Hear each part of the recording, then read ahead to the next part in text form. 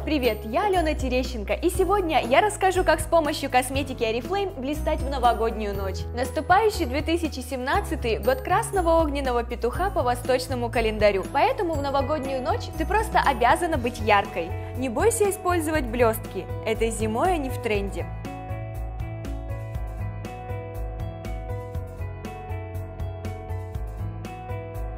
Для этого макияжа я использую косметику из коллекции Giordani Gold.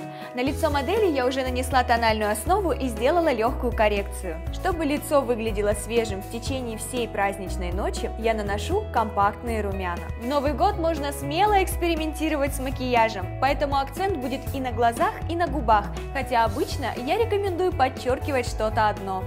Наношу тени для век в шариках. Выразительную стрелку рисую карандашом подводкой. Необходимый элемент – универсальная супертушь, которая придаст ресницам объем. Завершающий штрих – чувственные губы. Макияж готов! Ты можешь добавить выразительности праздничному образу с помощью блесток. Нанеси их поверх теней или даже на губы. Будь в центре внимания вместе с Oriflame. Счастливого Нового года!